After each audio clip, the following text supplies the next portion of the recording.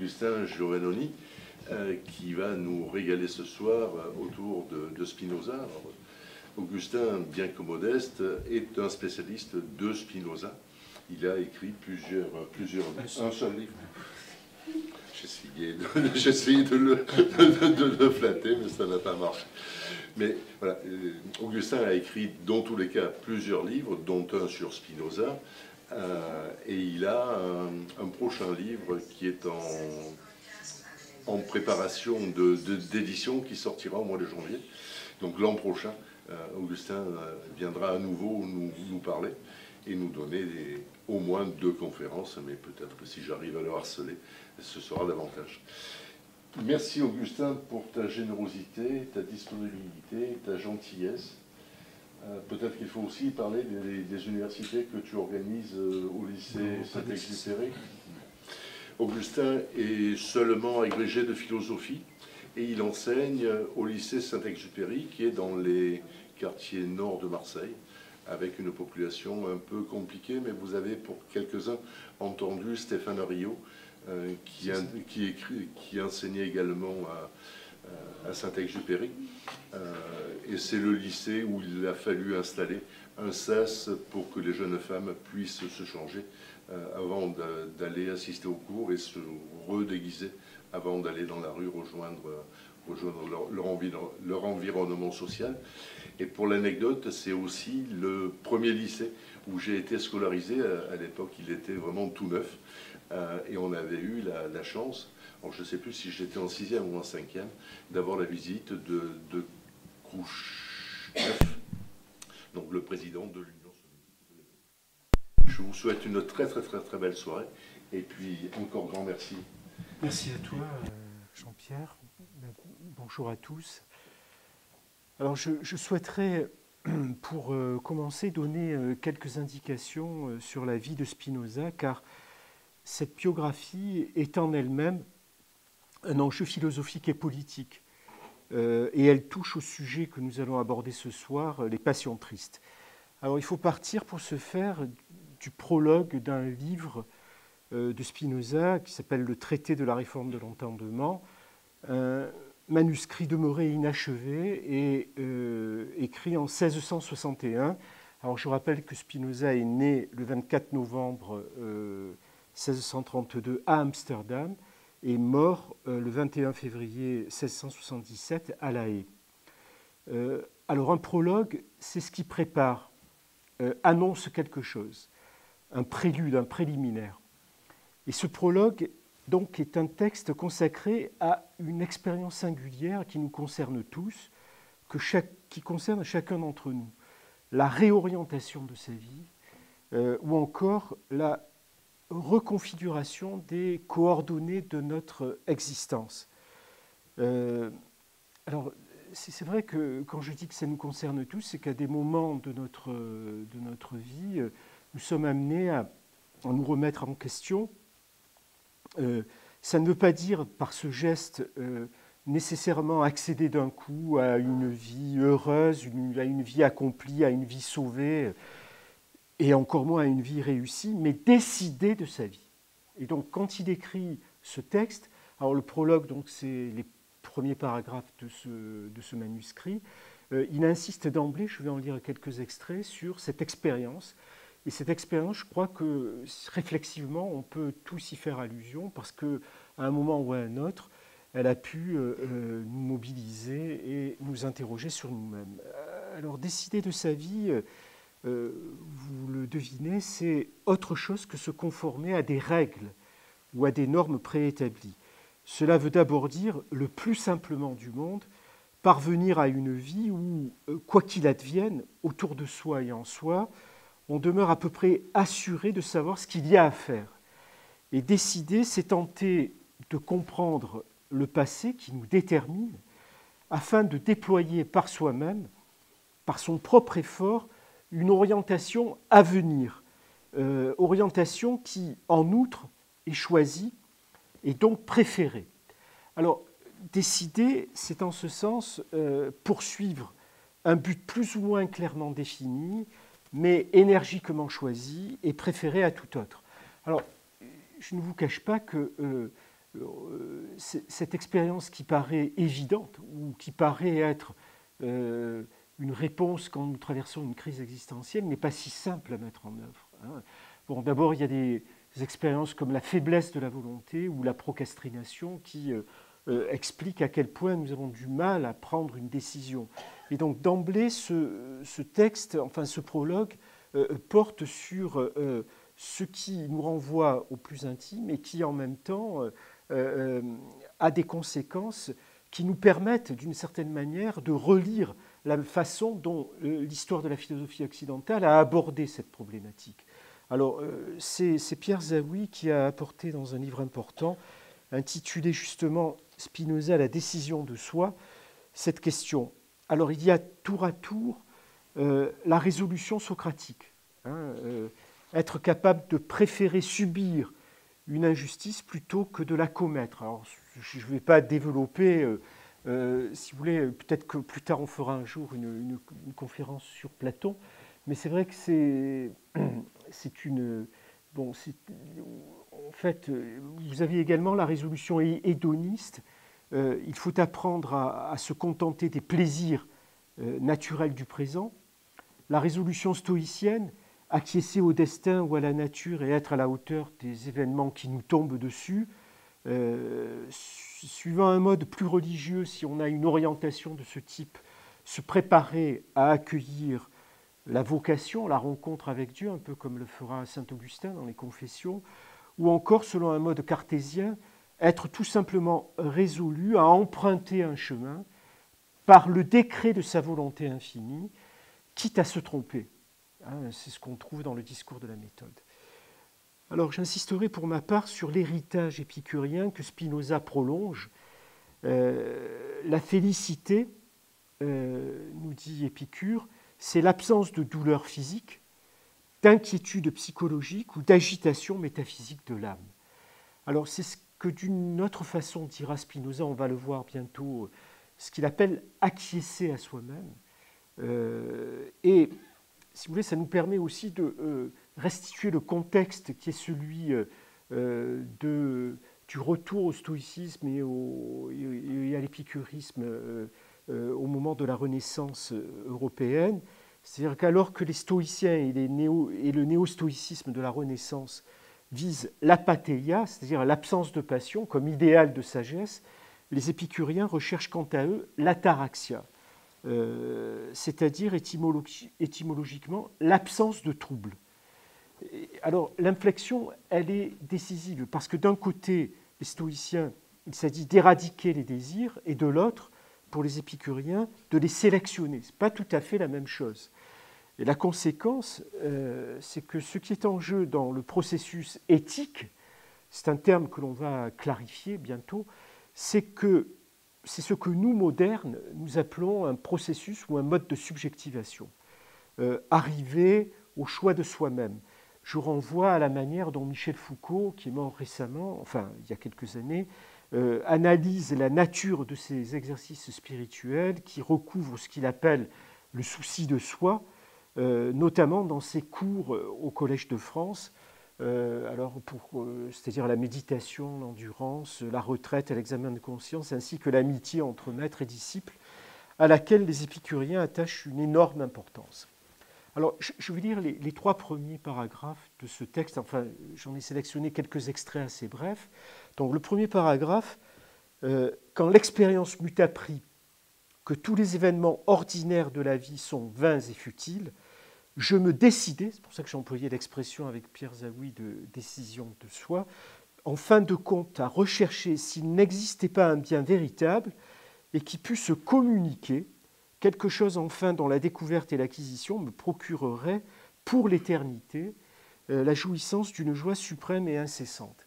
Donc ce que semble rechercher euh, Spinoza, c'est une joie continue, non pas une joie partielle, mais euh, une expérience de satisfaction intérieure qui lui permette finalement de, oui, je dirais à la fois de résister et d'affronter les expériences de la vie et de donner une réorientation euh, à, euh, si vous voulez, à son, à, son existence. Deuxième alinéa, je voyais en effet les avantages que nous procurent honneur et richesses, et qu'il m'en fallait abandonner la poursuite si je voulais m'appliquer avec sérieux à cette nouvelle euh, entreprise. Et je m'apercevais bien que si jamais le bonheur suprême résidait dans ces biens, je devrais en être privé. Donc il y a quand même une dramatisation. Hein. C'est-à-dire qu'il euh, euh, ne sait pas encore si le bien véritable, c'est celui qu'il poursuit. Et, dans ce moment, dans cette oscillation, dans ce moment d'incertitude, il ne sait pas encore si il ne va pas abandonner la proie pour l'ombre, c'est-à-dire les honneurs et les richesses, euh, pour un bien hypothétique dont on ne sait pas s'il lui permettra d'orienter son existence. Euh, voilà. Mais en revanche, s'il n'y était pas contenu et si je m'y attachais exclusivement, j'étais tout autant privé du bonheur suprême.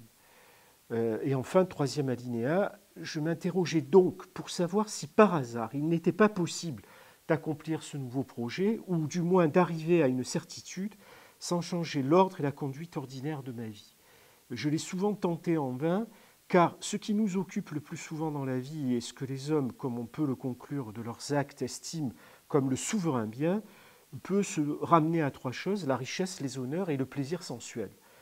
Alors, évidemment, euh, il y a toute. Alors, il reprend un lexique qui est euh, hérité euh, de l'Antiquité, la notion de souverain bien, et il nous montre en fait que ces biens avec lesquels il va prendre une distance, ce sont ceux que poursuivent la plupart d'entre nous. Donc la richesse, les honneurs et le plaisir sensuel. Alors on verra bon, les enjeux qui sont attachés à chacun de ces items, mais si vous voulez, que pouvons-nous retenir de ces textes ben, Que le but de Spinoza est d'obtenir la béatitude, c'est-à-dire je reprends ces termes, une éternité de joie souveraine et parfaite.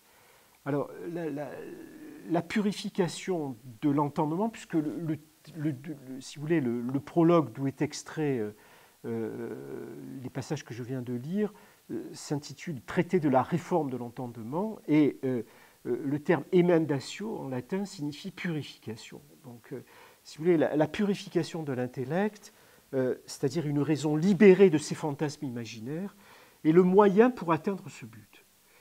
Et la démarche théorique a donc une finalité pratique, existentielle, c'est-à-dire être bienheureux.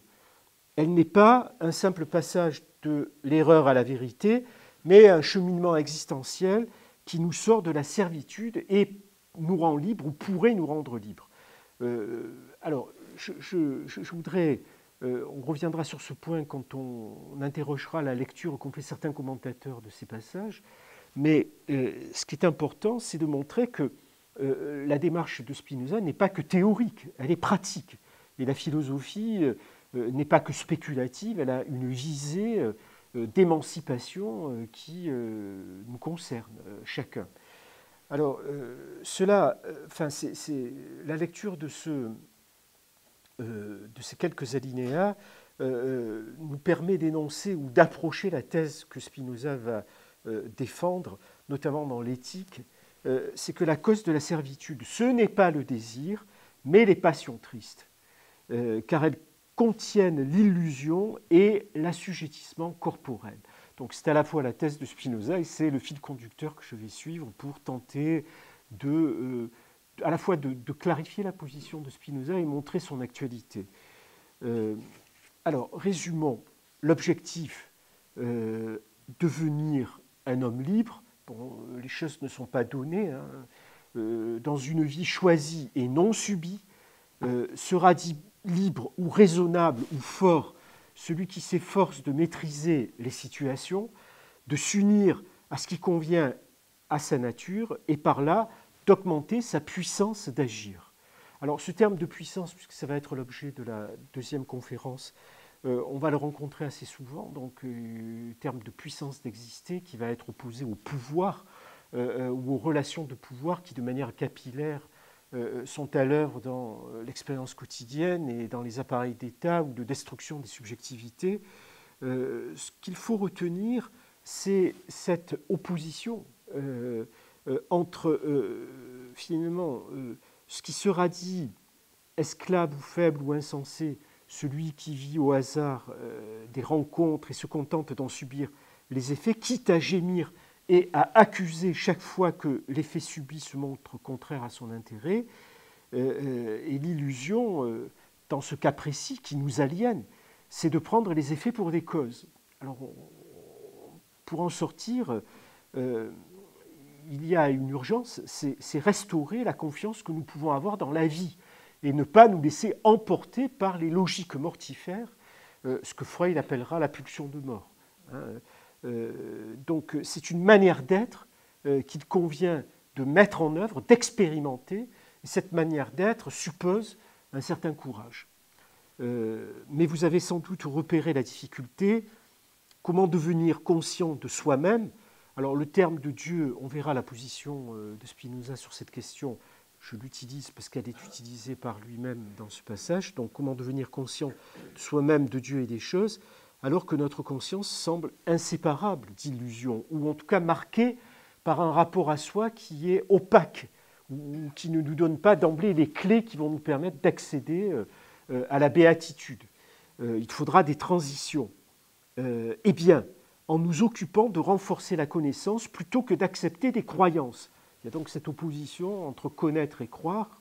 Connaître pour renaître, viser l'unité de la pensée et de la vie, du concept et de l'affect, et ne jamais lâcher, persévérer.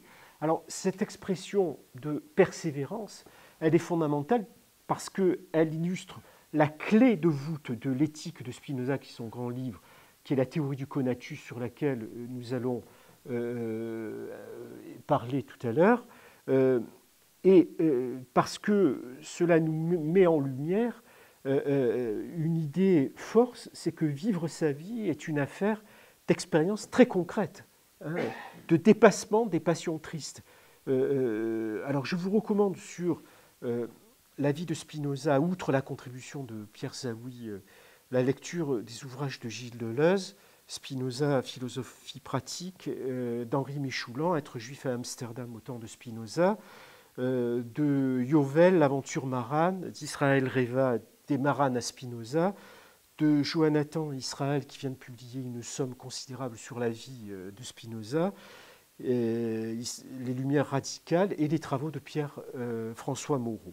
Alors, je vais quand même analyser à titre d'exemple la démarche adoptée par Gilles Deleuze, probablement parce que euh, euh, il y a à la fois euh, bon, la lecture de Gilles Deleuze a compté dans l'histoire des lectures qui ont été faites de l'œuvre de Spinoza, notamment Spinoza et le problème de l'expression qui a été publié aux éditions de Minuit, mais également parce que cela me permettra de jouer sur l'opposition entre puissance et pouvoir qui servira de matrice à la conférence que pour laquelle nous reverrons euh, euh, la semaine prochaine.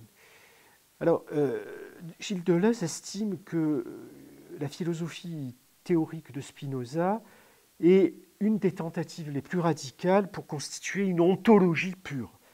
alors, je, le cite, une seule substance absolument infinie avec tous les attributs, les êtres n'étant que des manières d'être de cette substance. Alors, je rappelle qu'ontologie euh, signifie la partie de la philosophie qui a pour objet euh, l'étude des propriétés les plus générales de l'être, euh, telles que l'existence, la possibilité, la durée, le devenir. Alors pourquoi une telle ontologie s'appelle-t-elle éthique? Et pourquoi un livre de cette importance, de cette complexité s'appelle l'éthique démontrée selon la manière, à la manière des géomètres? Euh, eh bien, donc, quel rapport y a-t-il entre la, grande proposition spéculative et les propositions pratiques qui ont fait à la fois le scandale du spinozisme et la fascination qu'il a exercée sur tous ses lecteurs euh, euh, ben, La réponse de Gilles Deleuze, c'est que l'éthique est la science pratique des manières d'être. Alors, qu'est-ce qu'il a voulu dire et en quoi cela rejoint la préoccupation spinoziste, en tout cas son intention eh bien, euh, Deleuze nous dit que c'est une, une éthologie, c'est-à-dire une science qui a pour objet l'étude des mœurs humaines en tant que faits sociaux. Alors, j'espère que euh, mon langage n'est pas trop abstrait. Ce que euh, veut dire Deleuze dans cette affaire, ce, sur quoi je veux souligner, c'est que le sujet pour Spinoza est un être relationnel. C'est-à-dire que ce qui est premier, c'est pas au sens où Descartes l'entend le cogito, si vous voulez, c'est pas la subjectivité. Ce qui est premier, c'est la relation, c'est être avec, c'est être en relation avec d'autres. Et euh, cette dimension relationnelle, elle, finalement, elle, est, elle, nous amène à, effectuer un travail sur nous-mêmes et à nous constituer comme singularité, d'abord pour ne pas être euh, absorbé dans une sorte de communauté fusionnelle, qu'elle soit celle du groupe ou, de l'État ou d'une communauté quelconque, euh, euh, mais en même temps en reconnaissant que c'est dans une dynamique interindividuelle que nous pourrons trouver un horizon de sens et répondre aux défis de l'existence. et il oppose donc cette, cette éthique à, la morale qui a le rapport aux traditions et aux habitudes de vie propre à une société ou à une époque qui varie euh, en fonction des époques. Et euh, euh, donc voilà, cette opposition de l'éthique avec la morale est finalement au cœur de cette démarche spinoziste. Alors, c'est vrai que cette éthique, elle, va, elle va consister dans l'unité de la pensée et de la vie. et cette unité porte un nom, c'est un style de vie ou d'existence. Et, alors, comment interpréter le style de vie adopté par Spinoza? C'est pour ça que je suis toujours dans la première partie, dans la biographie. Ben, la, volonté, en tout cas le désir de vivre en homme libre et non pas vivre en esclave. Euh, alors Spinoza vise ici l'esclavage comme mode de vie euh, et non comme statut social, bien qu'à son époque, euh, la question était se posait avec acuité. Donc il y a une expérience qu'on va appeler expérience de la servitude. Alors on le sait depuis la Boétie, hein, depuis les fameux textes euh, euh, et c'est sur la servitude volontaire, euh, donc le terme n'est pas neutre. et ce qui est tout à fait intéressant, c'est que Spinoza met du côté des esclaves les tyrans. Les tyrans et, ajoute Gilles Deleuze, les prêtres. Le tyran, le prêtre et l'esclave. Qu'ont-ils en commun? Eh bien, nous dit Gilles Deleuze, une certaine manière d'attrister la vie le besoin de faire régner la tristesse et d'encourager les passions tristes, notamment la peur, la crainte et la haine. Ils ont besoin de faire régner la tristesse parce que le pouvoir qu'ils ont ne peut être fondé que sur un socle de tristesse. Et ça, ça me paraît d'une grande actualité. Cela conduit Spinoza à dresser un portrait implacable du tyran en expliquant que c'est quelqu'un qui a besoin avant tout de la tristesse de ses sujets, parce qu'il n'y a de terreur qui n'ait une espèce de tristesse collective comme base. Le prêtre, pour de toute autre raison, a lui aussi besoin de la tristesse, celle de l'homme euh, refusant sa propre condition finie, euh, d'une existence hantée par le remords et le regret. Euh, et introduire le remords, c'est introduire une culture de la tristesse. L'homme assujetti ne fait de son côté que cela, cultiver la tristesse et se lamenter. Le tyran, pour son pouvoir politique, a besoin de cultiver la tristesse. Le prêtre a besoin de cultiver la tristesse, du moins tel que Spinoza définit euh, euh, le pouvoir ecclésiastique. Et dès lors, il y a une complicité, et c'est de cette intuition de Spinoza euh, qu'il faut partir, la complicité du tyran, de l'esclave et du prêtre. Pourquoi? Parce que l'esclave, c'est celui qui se sent d'autant mieux que tout va mal, plus ça va mal et plus il se réjouit. C'est cela le mode d'existence de l'homme aliéné. Quelle que soit la situation, il voit toujours le côté négatif. Euh, euh, et être habité par les figures du négatif, c'est cela la servitude. Et la vie de Spinoza, telle que l'appréhende Deleuze, et on le voit, une lutte contre la servitude et la tristesse, contre les figures inquiétantes de l'assujettissement et de la réification. Euh, voilà. C'est vrai que je vous renvoie donc à la préface de, ce livre qui est abordable, hein, qui coûte, je crois, à peine 10 euros euh, et, qui vous procurera une grande joie. Il y a à la fois une partie euh, qui présente sa vie, sa philosophie, philosophie pratique, et un glossaire extrêmement riche qui euh, vous donnera des clés très utiles.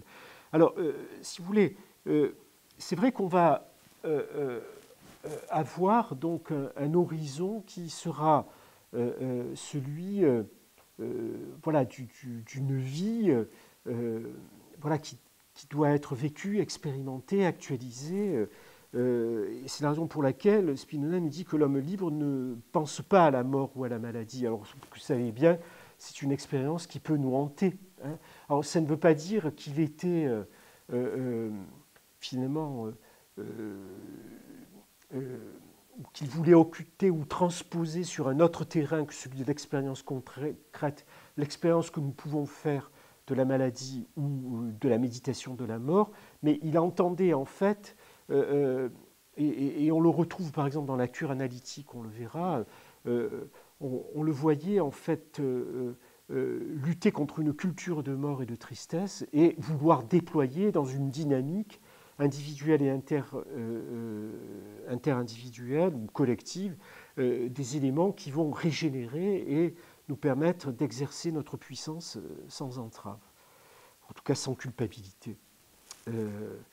Alors, je signale les points suivants concernant la vie de Spinoza que je n'ai pas le temps de développer, mais qui constituent des domaines d'études importants. Alors, l'exil des Juifs d'Espagne et la question du maranisme. Si tu veux, un jour, on fera une conférence sur cette question centrale.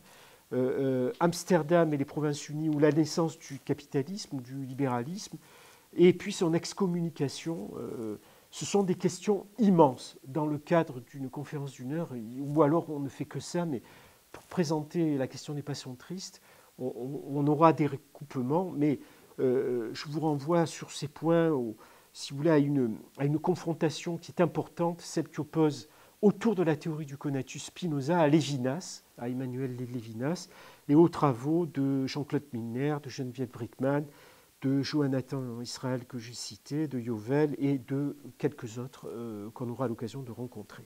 Alors, deuxième point, je voudrais vous présenter ce qu'on appelle l'immanence ou la philosophie de l'immanence, parce qu'on ne peut pas comprendre la critique des passions tristes et l'éloge qu'il fait de la joie ou son désir de constituer une éthique de la joie si on ne dégage pas la structure de sa philosophie, qui est une philosophie de l'immanence. Alors, euh, si vous voulez, cette immanence, euh, si vous voulez, le, ce qui anime la, démarche de Spinoza et qui organise son œuvre et sa pensée, c'est la félicité dans l'immanence. Alors, l'immanence est un terme philosophique qui désigne ce qui a son principe en soi-même, euh, par opposition à la transcendance, euh, qui indique une cause extérieure ou supérieure. alors, c'est vrai que dans l'ontothéologie, euh, euh, Dieu est séparé. Donc cette séparation renvoie à un ailleurs, euh, à, une outre-tombe ou à, un lieu qui finalement peut produire ses effets dans le monde ici-bas, mais qui s'en distingue. Alors que là,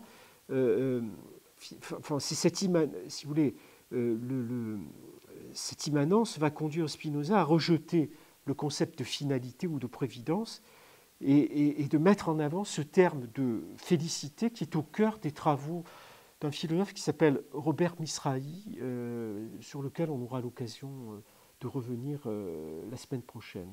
en tout cas, c'est un terme qui est très présent dans les nombreux travaux qu'il a consacrés à l'œuvre de Spinoza on peut en déduire cette idée que l'éthique n'est pas seulement une ontologie moniste qui identifie l'ancien Dieu à la nature infinie, elle ne se réduit pas seulement à une anthropologie qui combat le dualisme de l'âme et du corps tel que Descartes l'avait défini, mais l'immanence est une interprétation du monde qui rend possible une éthique, et une éthique de l'homme libre et de la joie ou de la félicité.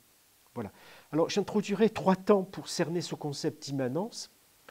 Le point de départ, euh, premièrement, le point de départ de la connaissance émancipatrice est la réflexion, euh, la connaissance vraie parce qu'adéquate et ordonnée.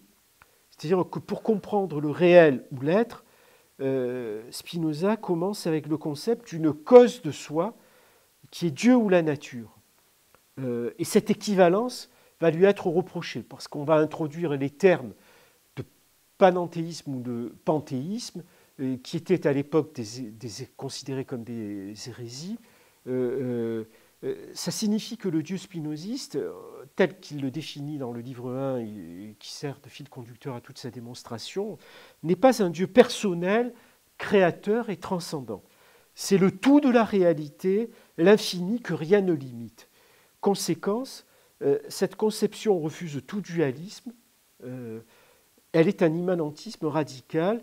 Euh, en latin, Deus sive natura, Dieu ou la nature. Il y a une équivalence qui, d'ailleurs, explique le fait que Spinoza soit lu aujourd'hui par ceux qui s'intéressent à l'écologie. Hein. le, fait que nous soyons une partie de la nature montre que cette nature qui est aujourd'hui menacée euh, nous ne pouvons pas la détruire ou risque de détruire notre être. Voilà. Alors, euh, point de départ, vous l'avez compris, c'est la réflexion. Deuxièmement, donc, qui nous permet, à travers de l'encheminement, de découvrir l'idée qu'il y a une cause première qui déploie ses effets de manière infinie, ce qu'il appelle la causa sui.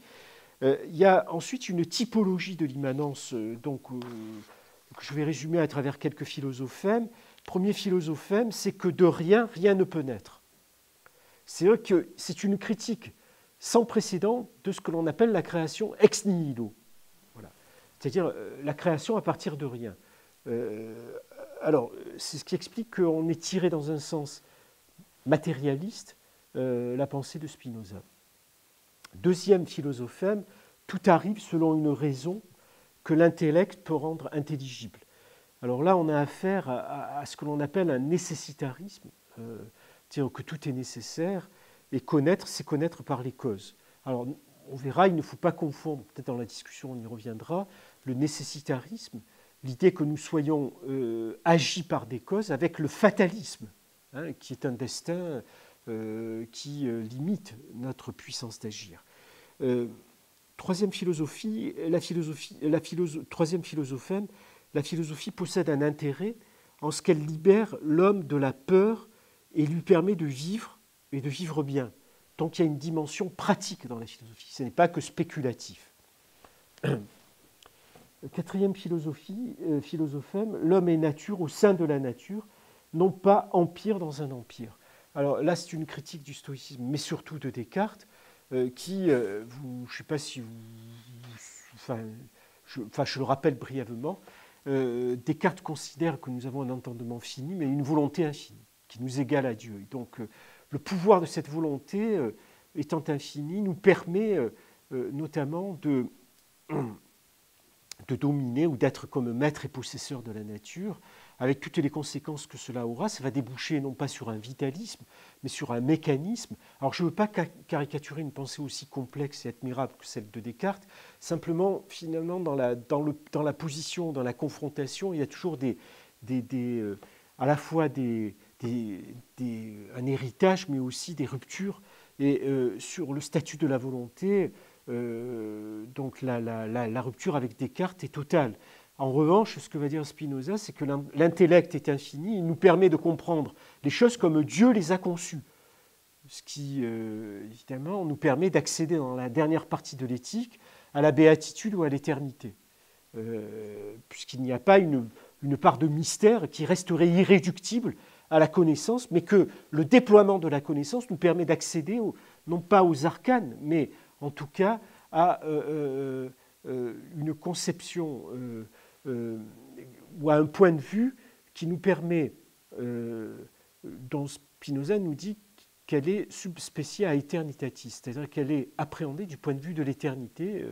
Euh, et enfin, dernier philosophème, l'éthique est, comme je vous l'ai indiqué, réorganisation et réorientation de notre vie dans le sens de la vie bonne possible dans l'immanence. C'est-à-dire que euh, l'éthique, c'est pas une opération neutre. Je fais pas ça parce que, tiens, euh, j'ai décidé de m'occuper. Euh, certains ont, toutes sortes, voilà, je suis philatéliste ou collectionneur, voilà, non, c'est une affaire sérieuse qui engage notre être, hein, qui, qui, qui, nous conduit à réorienter notre existence et à viser la vie bonne. C'est-à-dire, une vie bonne, c'est ce qui a pour axe la prise en considération décisive du corps euh, et une connaissance vraie et adéquate euh, n'est telle que si elle assume ce lien décisif avec le corps. Alors on y reviendra. Et enfin, dernier point qui nous permettra de comprendre vraiment ce qu'est cette philosophie de l'immanence, c'est que cette approche s'accompagne non seulement d'une série de critiques, on l'a vu à l'égard des stoïciens ou de Descartes, mais d'une véritable déconstruction de la métaphysique occidentale, de ce qu'on appelle l'ontothéologie, euh, issue du thomisme ou de l'augustinisme. Alors, euh, je rappelle là quelques-uns là aussi des philosophismes. Négation du concept de création, euh, la substance s'égale à la nature, Dieu ou la nature, je vous en ai parlé, une seule puissance ayant une infinité d'attributs, donc Dieu n'est pas transcendant, il est puissance, nature et infinité, et l'homme lui-même est un mode fini ou un conatus, c'est-à-dire un effort. Euh, euh, alors, si vous voulez, les spécialistes, bon, on va les citer, euh, si vous voulez, mais chacun peut être spinoziste à sa manière. Mais vous voyez bien que là, c'est une expérience de la finitude, de notre finitude, qui est positive. Et on pourrait l'opposer à la conception négative de Heidegger, ou telle que Heidegger a pu la définir, qui lui euh, considère que nous sommes jetés dans le monde. Vous voyez, le Dasein, l'être là, il est jeté dans le monde avec un sentiment de dérédiction. Euh, et cette dérédiction euh, va l'amener à quelquefois se fondre dans la foule, donc adopter une posture inauthentique. et on sait évidemment le destin politique, enfin en tout cas le parcours politique de, Heidegger, mais moi ce qui m'intéresse là, c'est de montrer en réalité toute la richesse de cette conception euh, positive de la finitude. Certes, nous sommes finis, mais euh, cette finitude ne nous interdit pas euh, d'accéder à, un déploiement de notre puissance d'agir et, ainsi affronter l'expérience de la vie avec courage. et voilà, donc, donc voilà. Alors, un point est à souligner comme je vous l'indiquais, toute chose est corps et esprit à la fois, chose et idée. Euh, il y a un automatisme de la pensée comme il y a un mécanisme des corps. Euh, et c'est en ce sens que chacun, tous les individus sont animata. Alors, euh, c'est un terme qui désigne simplement le fait qu'il y a correspondance entre les affections du corps et les idées dans l'esprit, c'est-à-dire une identité d'ordre et de connexion entre le corps et l'esprit, c'est-à-dire une égale dignité. Euh, une égalité de principe entre, entre les deux. Ce que reprend par exemple dans un livre bon, qui date maintenant, qui a été écrit par un neuro, euh, enfin par un scientifique qui s'appelle euh, Damasio, qui indiquait que Spinoza avait raison, enfin en tout cas que la science contemporaine sur cette question lui donnait raison. Alors Spinoza parvient sur la base de cette critique à définir la félicité en affirmant que l'essence de l'homme est le désir. Euh, en quoi réside le fondement de l'éthique Voilà pourquoi le cœur de l'édifice, c'est la théorie du désir. Euh, c'est-à-dire libéré de toute euh, fantasmagorie, de tout finalisme, de tout moralisme ascétique, l'homme libre reconnaît dans le désir un effort pour persévérer dans son être, un dynamisme, une puissance d'exister. et quand cette puissance est affirmée, naît la joie. Euh, c'est-à-dire il y a un accroissement de notre être et donc un accomplissement du désir en ses diverses expressions, euh, ces diverses expressions étant les affects. Et à l'inverse, il y a tristesse quand notre puissance d'agir diminue. Euh, le désir, dans ces conditions, n'est pas une quête de l'impossible ni un manque indépassable, hein. Mais c'est un dynamisme qui est la source de notre action et qui nous permet d'accéder à la satisfaction le fait d'agir et d'agir sans renoncer à mon être, sans trop de compromis. Vous rappelez la formule de, Lacan, hein, il ne faut pas céder sur son désir. Alors, bon, il y, a, un hommage indirect à, Spinoza dans, son propos, mais euh, si vous voulez, c'est pourquoi l'éthique est la recherche de ce vrai bien qui est la permanence d'une joie souveraine et parfaite. Et, la voie qui y conduit passe par le dépassement ou la critique des obstacles intérieurs et externes, c'est-à-dire toutes les formes de la servitude, alors euh, les passions, euh, les désirs passifs, la superstition, euh, le dérèglement de l'imagination, bien que Spinoza reconnaisse une valeur positive à l'imaginaire, et l'autoritarisme politique. Alors le point important, je viens de le mentionner, c'est que cette éthique de la joie n'est pas un ascétisme. Euh, c'est quoi la joie? Ben, La joie, c'est euh, l'ensemble des jouissances du corps et de l'esprit lorsqu'elles sont adéquates, à savoir autonomes et réellement expressives de l'essence de chaque individu. Euh, c'est-à-dire les joies esthétiques, le souci du cadre de vie, avoir un lieu qui soit habitable, hein, habiter le monde, c'est aussi avoir un abri. Bon, on pourrait aussi euh, avoir une lecture sociale, on en parlera la semaine prochaine, puisque ce sera réorienté sur la question politique, des exercices physiques, la connaissance réflexive de la nature et de l'homme. Et donc, à, la différence de l'idéalisme dualiste, ce n'est non pas le désir qui, pour Spinoza, est source de servitude et d'aliénation, mais c'est la passion. Et celle-ci n'est qu'un désir rendu passif par l'ignorance de la nature et par l'ignorance de soi, c'est-à-dire euh, par les associations imaginaires qui euh, nourrissent notre affectivité et font que les émotions prennent le dessus sur euh, la réflexion. donc cette joie, elle est l'accomplissement véritable du désir. C'est pourquoi elle se présente comme un accord avec soi-même. J'ai parlé au début d'acquiescement à soi, c'est-à-dire il y a une cohérence interne euh, ou intérieur qui euh, me permet de dépasser le flottement de l'âme, c'est-à-dire j'hésite, je ne sais pas quelle direction prendre. Il y a deux options. Euh, c'est un peu comme l'âne de Buridan qui hésite entre l'eau et, et, le foin. Et donc, le, si vous voulez, ce qui, évidemment, ça me permet de, cette cohérence me permet aussi de sortir de l'ambivalence des affects irréfléchis. Donc euh, cette cohérence, c'est satisfaction de soi et amour de soi. Alors ça, c'est un thème qui est un des thèmes favoris de la littérature philosophique euh, du XVIIe et du XVIIIe siècle, surtout du XVIIe siècle. C'est tous les débats sur l'estime de soi.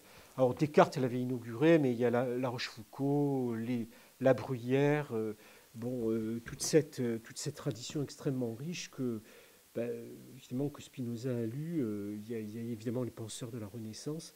Euh, c'est-à-dire qu'il y a, si vous voulez, euh, il s'agit de, ni de se sous-estimer, donc, parce que ça va limiter notre puissance d'azir, ça, va, ça ne nous permettra pas d'accéder à, la maîtrise des situations auxquelles nous sommes confrontés, ni se surestimer, être vaniteux ou orgueilleux, puisque cette surestime, elle va nous conduire à nous montrer euh, euh négatifs envers les autres, dévalorisant, et donc elle va au lieu de créer une dynamique interindividuelle, elle va au contraire nous séparer des autres et créer les conditions d'un conflit. Euh, alors, cette, euh, si vous voulez, cette, je termine avec cette félicité qui implique aussi l'amitié, c'est-à-dire l'accord des, esprits libres qui se réclament de la raison et désirent pour les autres le bien qu'ils désirent pour eux-mêmes. Et l'homme vertueux, enfin c'est la définition qu'il donne, hein, euh, c'est celui qui partage ou qui met en commun. Euh, et donc, il on a Mensma, c'est un biographe enfin, qui, avait, euh, qui, a écrit un très beau livre sur le, cercle de Spinoza, c'est-à-dire les amis qui l'ont accompagné au cours de son existence. Et, ça correspond tout à fait à, ce que j'étais en train de nommer. Alors, cette éthique de la libre joie implique, pour être pleinement réalisable, des conditions politiques euh, qui sont euh, comme les exigences d'un programme et pas seulement l'indication d'un style personnel d'existence. Il faut qu'il y ait les deux. Il faut qu'il y ait un, travail de réforme de l'intellect qui nous permette de déployer un style d'existence libre, mais il faut que certaines conditions politiques soient réunies. Euh, c'est-à-dire l'instauration d'une société de paix et de concorde qui rende possible la vraie vie de l'esprit et qui soit fondée sur un pacte social démocratique ne pas oublier que le XVIe et le XVIIe est traversé par ce qu'on a appelé la, par la guerre civile, la première guerre civile européenne, qui a été particulièrement brutale euh, en France et aux Provinces-Unies, euh, euh, ce qui est aujourd'hui l'actuelle Hollande, hein, les actuels Pays-Bas. la garantie de la tolérance et l'indépendance du pouvoir politique à l'égard des instances religieuses, la liberté d'expression, je cite Spinoza, euh, dans une libre république, chacun peut penser ce qu'il veut et dire ce qu'il pense. Enfin, la propriété, c'est ce qui a intéressé toute la littérature marxiste enfin la propriété collective de la terre et des citoyens en armes. Euh, vous trouverez chez Tony Negri, chez Louis Althusser, chez Étienne Balibar, chez Pierre euh, Macheret, chez Alexandre Matron, euh, des éléments de réflexion et de lecture tout à fait passionnants sur cette question de la propriété.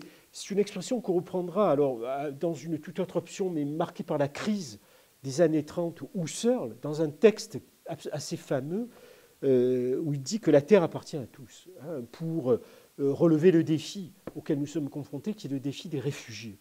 Hein, cette idée que la terre est à tous, que l'on doit accueillir celui qui est vulnérable. Alors faisons le point de conditions modestes par choix. Il a refusé l'héritage de, ses parents, excommunié par son hétérodoxie, je n'ai pas pu le développer, on fera peut-être une autre conférence là-dessus, haï par l'Europe chrétienne pour son athéisme, entre guillemets, euh, ascète par nécessité et mort à 45 ans, euh, Spinoza propose à ses lecteurs une voie pour accéder à cette félicité euh, qu'on appelle le bonheur et qui est la permanence de la joie d'être et d'agir. Voilà. Et alors, si vous voulez, quel est le point important là Le point important, c'est qu'il faut, nous dit Spinoza, connaître l'homme tel qu'il est et non pas tel qu'on voudrait qu'il soit. Euh, donc il y a, euh, si vous voulez, euh, pour, enfin, pour aller vite, il y a une critique de l'utopie, notamment de l'utopie de Thomas More. enfin, c'est le centre de l'interprétation d'un philosophe comme Tony Negri, qui, dans l'anomalie sauvage, dit que le réalisme de Spinoza, qui est inspiré de celui de Machiavel, est véritablement révolutionnaire parce qu'il permet de penser dans la désutopie des conditions d'une véritable transformation sociale qui permettront euh, de vivre en commun euh, euh, et, donc de, révolutionner aussi bien bah, le corpus qui est celui de la philosophie que d'imaginer ce que pourrait être une démocratie radicale.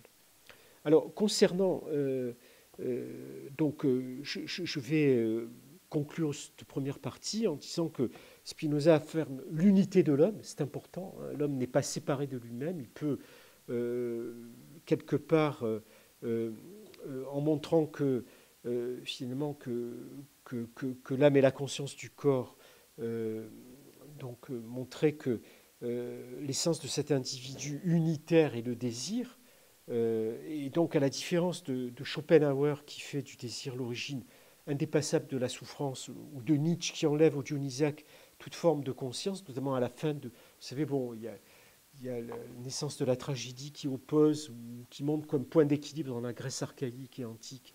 Euh, finalement, c'est Apollon et Dionysos, et à la fin de sa vie, euh, Nietzsche mettra en avant davantage le, le, dionysiaque et les pulsions que la dimension apollinienne et, Freud qui est persuadé de l'impossible satisfaction du, désir et qui montre que ce qui est au cœur de l'expérience humaine, c'est une sorte de béance, en tout cas un manque euh, que l'on ne peut combler et euh, qui renaît, euh, ou en tout cas qui se traduit par la perte de la chose, pour reprendre l'expression qu'utilise Lacan, la chose étant le dasdim, bon, quelque chose qui, quand on le traverse, euh, est la source de la jouissance, mais en même temps euh, peut être la cause euh, de, en tout cas, cause mortifère qui nous, enfin, qui nous fait basculer dans, des logiques de, extrêmement inquiétantes.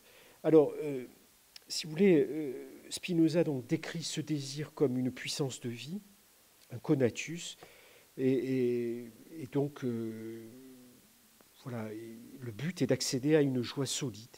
Euh, qui nous conduira à nous libérer des passions tristes liées au fanatisme, à l'arrivisme et à la cupidité. Alors, je vais aller vite sur une clarification terminologique qu'introduit, euh, euh, enfin, que signale Gilles Deleuze, mais qui est pourtant importante, donc je, vais aller, je, la signale tout en étant bref. C'est que dans son livre principal, L'éthique, euh, écrit en latin, on trouve deux mots, affectio et affectus. Et, certains traducteurs ont traduit de la même manière les deux termes par affection. Alors cela pose un problème, nous dit Deleuze, parce que quand un philosophe emploie deux mots, c'est que par principe, il a une raison.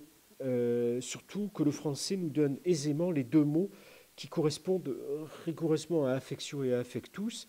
Euh, c'est affection pour affectio et euh, affect pour affectus. Alors le mot affect est aujourd'hui très à la mode. Hein, donc à l'époque où Deleuze l'a pointé, ce n'était pas le cas. alors, ce que je retiendrai, c'est les points suivants. Euh, le premier point, c'est que l'idée est un mode de pensée représentatif. Euh, euh, ces, distinctions nous permettront de comprendre comment on peut accéder au, bonheur et, traverser les passions tristes. donc l'idée est un mode de pensée représentatif. Sur ce point, nous dit Deleuze, Spinoza prend le terme idée au sens où tout le monde l'entend au XVIIe. C'est-à-dire ce qu'on appelle une idée, c'est un mode de pensée qui représente quelque chose. J'ai l'idée de la table, je me la représente, même en l'absence de la table.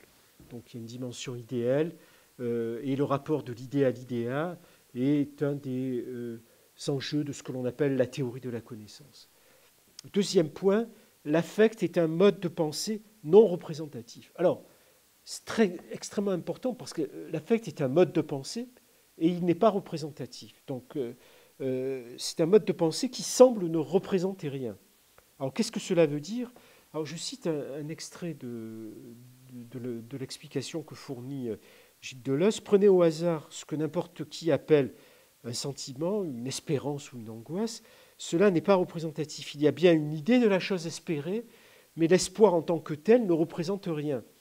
Alors, ce qui est intéressant, c'est que ça nous permet d'expliquer pourquoi on a un rapport opaque à soi-même. Pourquoi on peut s'aveugler sur soi-même? Le monde peut nous paraître lisible, mais ce qui euh, finalement semble résister quelquefois à l'intelligibilité, c'est le rapport que l'on a à soi.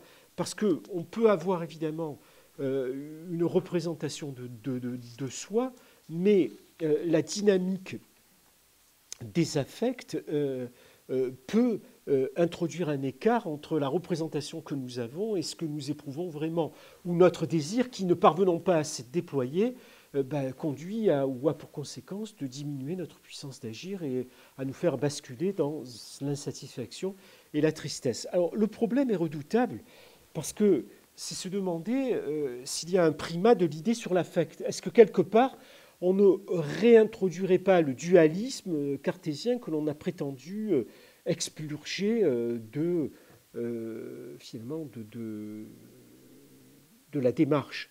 Euh, alors attention, que l'affect représente l'idée, cela ne veut pas dire qu'il se réduise à l'idée ou à une combinaison d'idées. Nous devons partir de ceci que idée et affect sont deux espèces de modes de pensée qui diffèrent en nature. C'est-à-dire qu'ils sont irréductibles l'un à l'autre, mais ils sont pris dans une relation. Et donc, euh, c'est le deuxième point sur lequel je voudrais insister. Euh, c'est, bon, euh, si vous voulez, c'est que cette, si on revient à la question politique telle qu'on l'avait un peu esquissée quand on a fait le portrait du tyran, hein, si vous voulez, quand, Spinoza se demande comment se fait-il que les gens qui ont le pouvoir, dans n'importe quel domaine, hein, pas seulement politique, ont besoin de nous affecter de manière triste. Euh, comme si les passions tristes étaient nécessaires. Spinoza va dire, eh bien, euh, inspirer les passions tristes est nécessaire à l'exercice du pouvoir parce que, on l'a dit, il a besoin de la tristesse des, sujets, mais parce que, euh, si vous voulez, cette théorie de la fête va nous permettre de définir la tristesse en un sens rigoureux. C'est-à-dire, ça va être l'affect en tant qu'il enveloppe la diminution de ma puissance d'agir. C'est-à-dire l'affect, c'est la variation continue et le passage d'un degré de réalité à un autre ou d'un degré de perfection à un autre dans le sens d'un, si vous voulez, d'une diminution. C'est-à-dire il y a quelque chose qui rétrécit, qui peut tellement rétrécir que je peux basculer dans une tristesse chronique que l'on va appeler la mélancolie, la mélancolisation, qui peut me faire basculer dans une représentation complètement mortifère de moi-même et des autres. Et donc, euh, euh, si vous voulez, cela a des conséquences vertigineuses. Parce que, euh, euh, d'abord, il y a le tableau de l'homme comme automate spirituel. C'est-à-dire qu'il y a en permanence en nous des idées qui se succèdent. une sorte de concaténation. Certaines sont adéquates, d'autres ne le sont pas. Et notre puissance d'agir ou notre force d'exister est ainsi en permanence tantôt augmentée, tantôt diminuée. Et cela de manière continue, sur un rythme continu. Et c'est cela que nous appelons affectus, c'est cela que nous appelons exister. Exister, c'est être pris dans une, euh, dans une rythmique, dans une euh, rythmique euh, où, il y a comme ça des, voilà, des, des, des, variations. Et, des variations continues de la force d'exister. Et bien sûr, cette variation, elle est déterminée par les idées que je me fais des choses et de moi-même. Et une variation, évidemment, ça va s'accompagner de chutes et de hausses. Bon. Alors, il en résulte une typologie bien connue sur laquelle nous avons euh, déjà insisté. Il y a des passions qui euh, augmentent la puissance d'agir, ce sont les passions de joie, les passions joyeuses, et il y a des passions qui la diminuent, ce sont les passions tristes. Mais attention, les unes comme les autres sont des passions. Pourquoi? Parce que dans les deux cas, je ne dispose pas de ma puissance d'agir. Je ne la dispose pas encore pleinement. Peut-être n'y arriverai-je jamais. Mais en tout cas, euh, euh, euh, même quand elle augmente, je ne la possède pas complètement. Donc, je suis encore dans le premier genre de connaissance. Spinoza en distingue trois. Je développerai ce thème la semaine prochaine. et ça, c'est la première étape, la distinction entre les passions joyeuses et tristes. J'ai les deux. J'ai les deux parce que je suis un, être humain, parce que je suis confronté à, des causes externes qui peuvent diminuer ma puissance d'agir. Je peux perdre, par exemple, mon, emploi. Je peux être confronté à un deuil. Euh, je, peux, je peux être en échec dans ma relation conjugale. Enfin, je ne vais pas multiplier, peut-être que dans la discussion, on aura l'occasion d'évaluer ces causes externes, mais il y a aussi des causes internes qui peuvent me, conduire à cette euh, diminution. Alors, euh, si vous voulez, ce qui va nous permettre de sortir euh, de l'impasse, c'est que lorsque j'éprouve des passions joyeuses, je vais rencontrer dans un dynamisme interne des corps, c'est-à-dire des individualités qui me conviennent. Elles vont augmenter ma puissance d'agir, elles vont me donner l'occasion, et l'occasion de former une notion commune de passer de l'individuel, si vous voulez, au commun. Euh, notion commune à quoi? Ben Alors aux deux corps qui se rencontrent. Quelquefois, je rentre en sympathie avec quelqu'un, euh, et euh, ce, le corps qui m'affecte est mon corps. Ça, c'est l'étape cruciale qui va me permettre de passer de la passion à la notion commune, du premier au deuxième genre de connaissance. Je laisse la béatitude parce que c'est le degré suprême.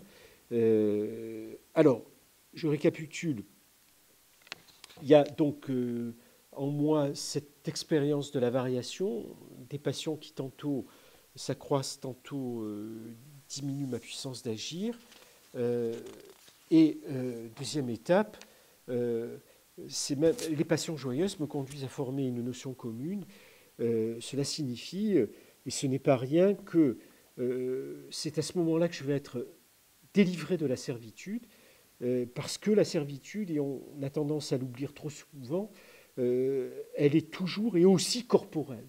Euh, ça, je crois que c'est un champ obscur donc, qui mériterait à lui seul d'être interrogé.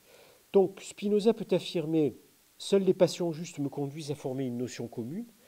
les notions communes, ce, n'est pas du tout des choses théoriques, bien que ça les inclue, ce sont des notions pratiques. C'est du pratico-éthique. Euh, il ne faut pas du tout en faire quelque chose d'abstrait. Et Gilles Deleuze, que j'ai cité plusieurs fois, euh, dira à la lettre, pour rendre compte de cette deuxième étape, euh, les passions joyeuses se doublent de notions communes. Alors, ce terme de commun a, aujourd'hui un destin, c'est-à-dire qu'il revient en force. il revient en force à cause de ce que je vous ai dit, parce que, si vous voulez, le, les philosophies d'inspiration libérale ont mis en avant euh, l'autonomie du jeu, euh, sa toute-puissance. Et on voit aujourd'hui euh, finalement les, philosophies du commun être confrontées à, une tension que je crois fondamentale et qui est au cœur à la fois de l'actualité de Spinoza, mais également de l'urgence du temps présent. C'est-à-dire que nous sommes confrontés à deux écueils. Le premier, c'est la tentation de la communauté fusionnelle. on a déjà connu au XXe siècle, mais tout au long de l'histoire, cette manière dont les communautés peuvent euh, absorber les individualités pour en faire un tout, un tout organique euh, qui finalement se met au service de la destruction, de la destructivité et de la tyrannie, du totalitarisme et de toutes les formes de destruction des subjectivités, de tout ce qui vient abaisser l'individu. Mais vous avez également donc, qu'est-ce que, que cela signifie? Ça signifie qu'on ne peut pas faire euh, euh, l'économie de la singularité. On ne peut pas faire euh, sacrifier l'individu. Donc, avec Jean-Louis Nancy, je dirais qu'il y a une inéquivalence face à l'équivalence du marché ou à l'équivalence des communautés qui peuvent être religieuses ou autres. Il y a une inéquivalence du sujet enfin de la singularité qui tente de s'émanciper et de, euh, à partir de ce rien, il faut un certain courage pour rompre les amarres avec cette communauté introuvable à laquelle nous aspirons, mais qui quelque part semble faire échec. Euh, euh, et ce que je crois aussi important, c'est que nous ne pouvons pas nous contenter aussi du vide d'un individu abstrait qui serait tel un atome perdu dans euh, finalement dans, dans, une espèce de globalisation euh, qui euh, finalement conduirait chacun à, à, chercher comme une prothèse une identité introuvable qui ne correspondrait pas à un véritable travail sur soi.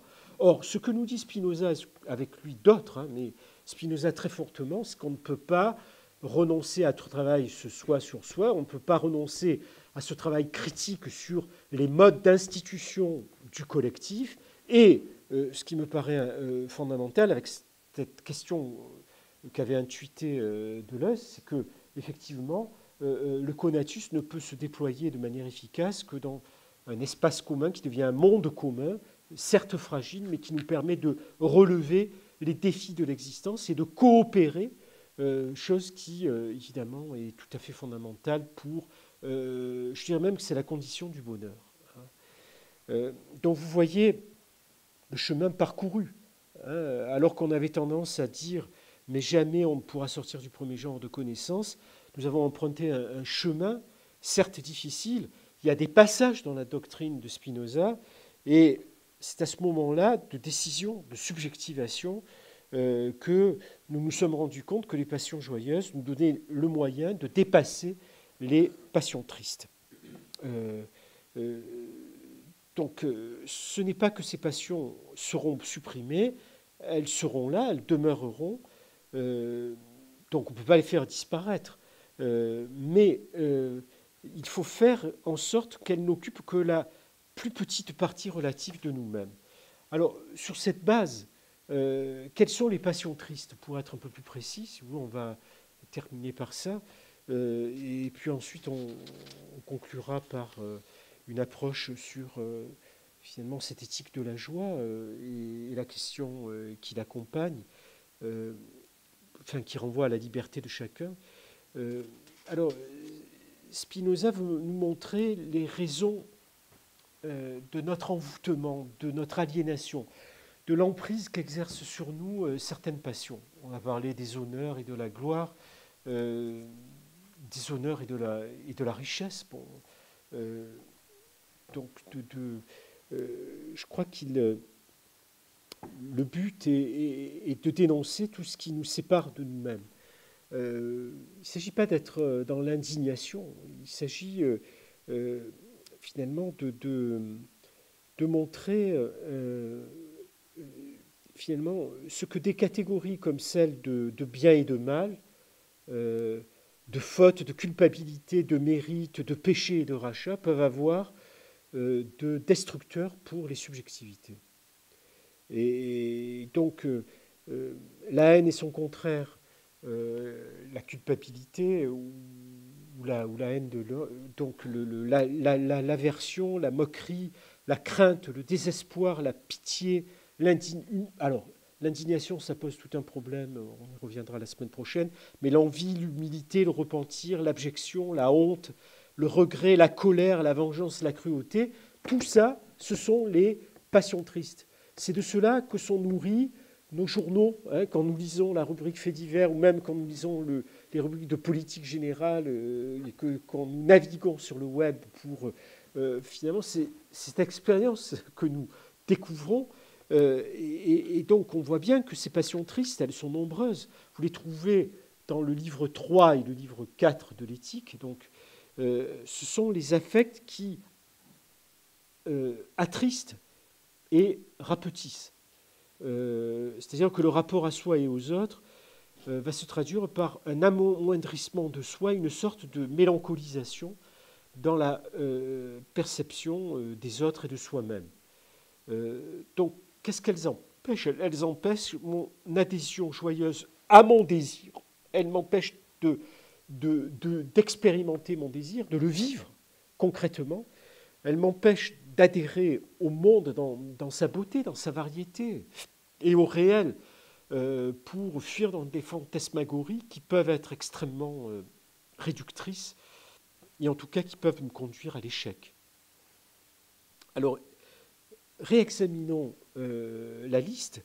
Haine, peur, honte, mépris, douleur, mélancolie, horreur, aversion, dérision, désespoir, dédain, crainte, humilité, déception, respect, pitié, indignation, pudeur, envie, stupeur, colère, vengeance, blâme, cruauté, repentir, dépréciation de soi, jaloux.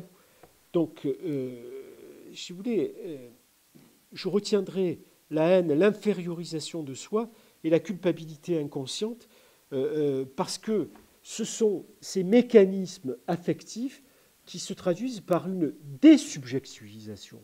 C'est-à-dire, elles nous séparent de nous-mêmes, elles nous, font, conduisent dans des logiques d'identification qui peuvent être extrêmement déstabilisantes dans la relation que nous avons au monde et, avec autrui, et elles ne créent pas les conditions véritables de, euh, euh, si vous voulez, voilà, de la félicité.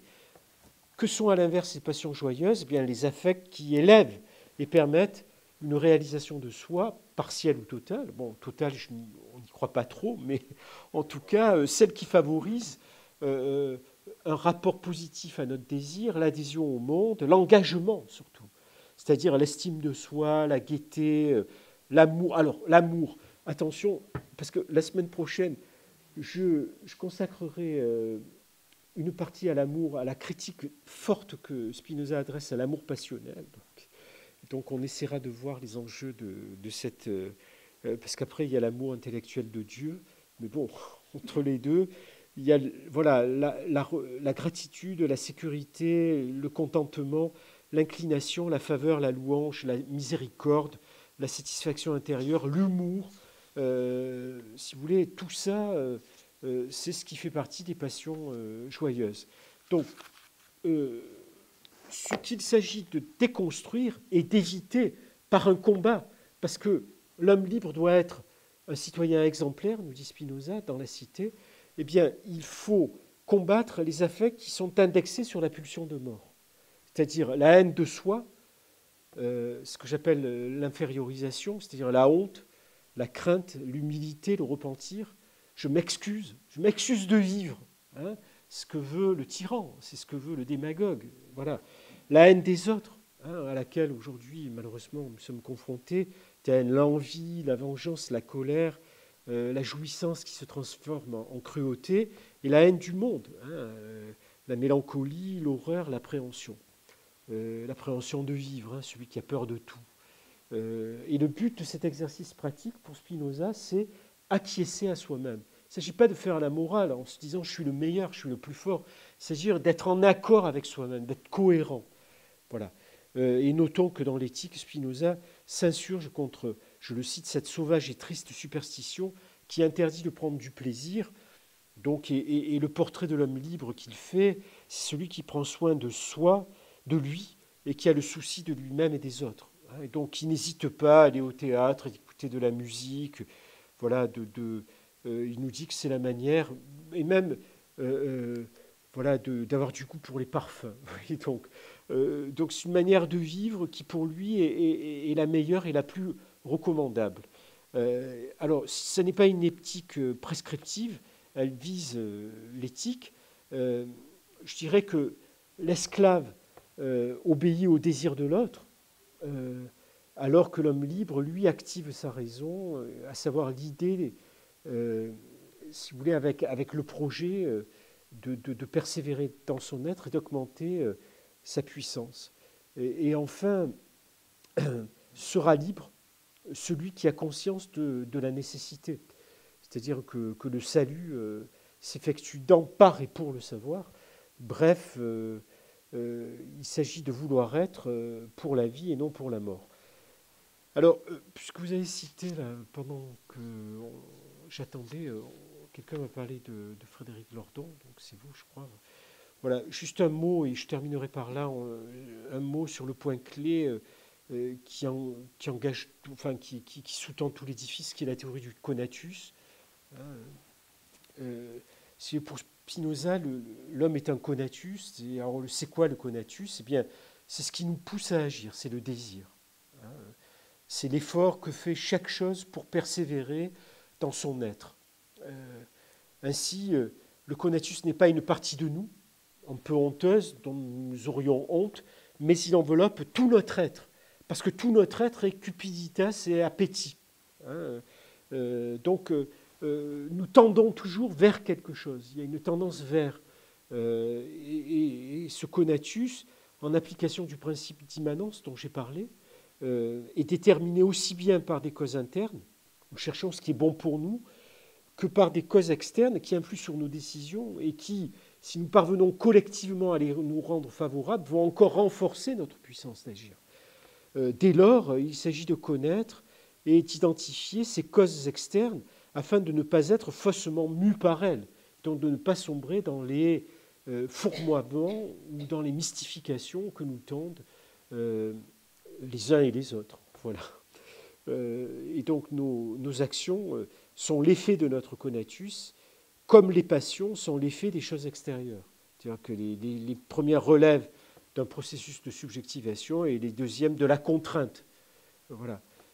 Donc il n'y a pas de réel libre arbitre chez Spinoza, euh, contrairement à, Descartes.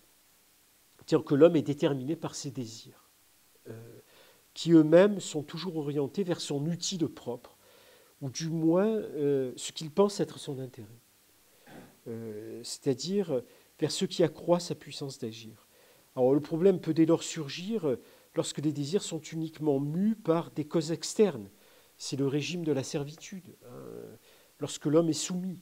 Et, par exemple, et par opposition, il existe un, régime de fortitude dans lequel les désirs de l'homme proviennent de son conatus uniquement. Ainsi, euh, le conatus mène l'homme à chercher ce qui est bon pour lui. On retrouve ici les distinctions chez Lordon comme chez d'autres, hein, euh, actuellement qui se réclament de Spinoza, euh, que nous avions introduites avec Gilles Deleuze entre morale et éthique. Le bien et le mal n'existent pas, euh, le bien est ce qui est bon pour nous, le mal ce qui est contraire à notre nature. Le mal n'exprime que notre essence, notre conatus, mais uniquement l'ignorance des causes externes qui nous poussent à désirer ce qui n'est pas bon pour nous. Donc on voit bien que cette philosophie spinoziste est une théorie de la connaissance pour le bonheur de l'homme. Euh, alors cet homme est dynamisme et énergie, il n'est ni un loup, comme le pensait euh, Hobbes, euh, ni un animal social, comme l'avait déclaré Aristote, mais il peut être les deux tour à tour en fonction des circonstances. Euh, et pour n'être qu'un animal social, il, bien, il, devra accroître toujours sa, sa, connaissance pour ne suivre que les désirs mus par son conatus et réaliser des actions plutôt que de se faire contraindre par les choses externes et être soumis à une logique passionnelle. Par conséquent, euh, euh, si vous voulez, le, muni de ces outils, euh, Spinoza pourra et peut et nous propose une, politique comme une alternative et une éthique. bon, une éthique, je viens de la développer. J'ai encore le temps, si vous voulez, mais il est déjà 8h30, on va peut-être s'arrêter là. Hein, voilà, pour engager une conversation. En tout cas, je vous remercie de votre écoute attentive.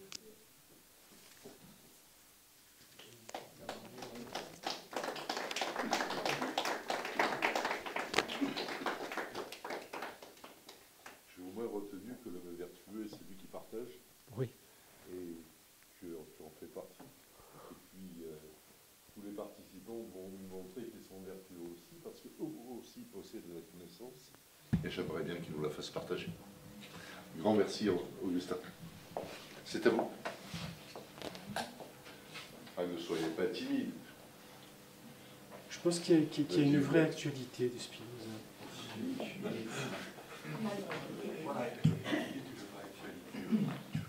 Je me lance, je ne suis pas ni philosophe ni tout. Euh, J'ai essayé de suivre, de, de comprendre tout ce qui a été dit, et, difficile pour moi. Euh, je voudrais faire une remarque et vous demander euh, ce que vous en pensez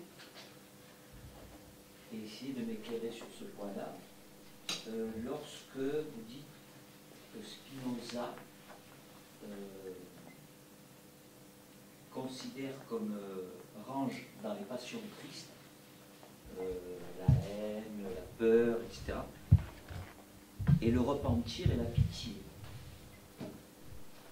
Alors là, moi, en tant que croyant, évidemment, je, je, bondis, ah je bondis parce que euh, Repentir et le cette énumération de passions tristes, euh, il y en a qui, me paraissent évidentes, comme la peur, etc. Mais euh, ces deux-là, la pitié et le repentir, euh, je ne les place certainement pas dans la passion triste, bien au contraire. Bien au contraire, puisque c'est pour nous, pour moi, par le repentir et par la pitié que peut naître la miséricorde, qui est, l'opposé d'une passion triste, puisqu'elle conduit à la joie. Puisqu'elle conduit à la joie. Donc, euh,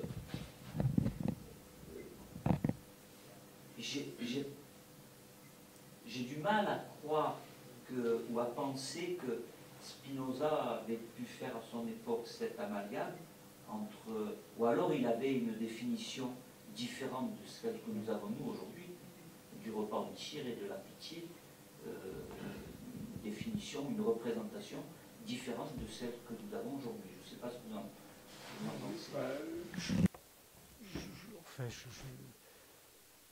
Enfin, c'était pas si difficile puisque vous mettez l'accent donc sur un point central. Moi, j'ai voulu euh, euh, apporter un éclairage sur les notions clés, notamment celle relative au désir, alors pour vous répondre, euh, je, crois qu'il euh, faut revenir à, cette, expérience concrète que, chacun de nous peut faire, celle qui, euh, à savoir être séparé de, sa puissance d'agir. parce que le, remords comme le repentir en font partie. Alors, évidemment, si vous voulez, pour Spinoza, l'existence n'est pas coupable. Euh, donc il y a une critique de ce que l'on appelle le, péché originel. Euh, vous voyez, c'est un. Alors, c'est vrai que le. C'est pour ça que j'ai commencé par des éléments euh, biographiques pour indiquer la liberté qui, enfin, que vous, pas obligé d'être d'accord, hein, mais en tout cas le, soin que Spinoza met à enfin, prendre ses distances avec, dans la recherche de la vérité, euh, là il se situe du point de vue philosophique. Hein. Donc euh, pour, pour, prendre, enfin, pour, pour, poser un regard sur l'homme tel qu'il est, et non pas tel qu'il devrait être, et, donc là, si vous voulez, le, celui qui, qui regrette l'action passée euh, évidemment, ça peut être accompagné d'une prise de conscience. C'est cette prise de conscience que vous qualifiez de, euh, disons, d'éléments stabilisateurs à la fois pour le corps social et euh, régénérante pour l'individu qui ainsi se réconcilie avec lui-même et avec la société. donc là, Spinoza se situe finalement dans un mouvement qui euh, doit le conduire à la béatitude. Y a, une joie continue. Et si vous, vous ne pouvez pas, euh, euh, cette joie continue, quand elle est constamment morcelée, en tout cas cette expérience de recherche de soi, quand elle est constamment menacée par, ou en tout cas remise en question par, les, par la culpabilité, par, par le remords, est-ce que par le sentiment de faute imaginaire, parce que, si vous voulez, la critique de la morale ici, elle porte sur, sur sur, sur ce qui va diminuer la puissance d'agir des, individus et sur euh, très Nietzschéen avant l'heure, donc on est presque par-delà bien et mal. Il récuse d'ailleurs les notions de, de, bien et de mal. Je comprends que ça puisse vous heurter, euh, en votre, enfin, puisque vous faites état de votre expérience religieuse, mais il y a, euh, chez Spinoza, il y a, il, y a, une volonté aussi euh, de permettre à chacun de se déterminer par rapport à un credo qui, bon, pour emprunter les voies euh, qui euh, euh, sont celles que vous considérez, vous, comme les conditions du salut. Donc il n'y a, pas, si vous voulez, il ne s'agit pas de... En fait, il y a une pluralité de points de vue pour atteindre le salut.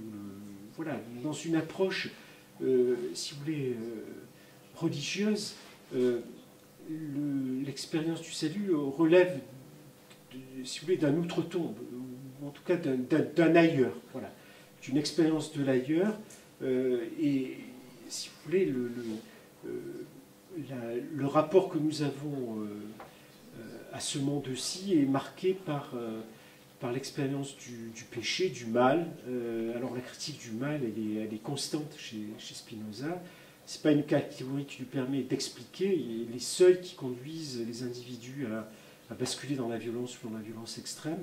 Et je crois que vous avez touché un point qui est aujourd'hui euh, discuté. J'ai évoqué, euh, par exemple, les polémiques qui euh, ne manquent pas d'entourer l'œuvre de, de, Spinoza.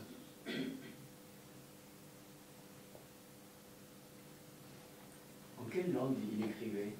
Pardon?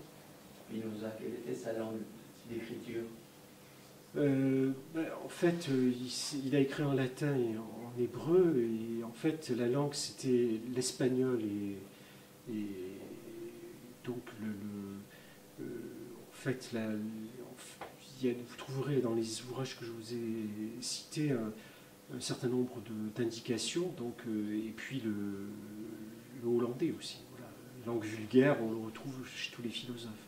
Mais il a il a écrit un abrégé de grammaire hébraïque. Euh, et donc il y, a, tout un. voilà, les textes sont écrits en, latin aussi. Pourquoi il écrivait en hébreu? Pardon? Pourquoi il écrivait? Non, je vous ai dit qu'il a écrit une, une grammaire. Hébraïque? Hébraïque, Comment, comment ça se fait?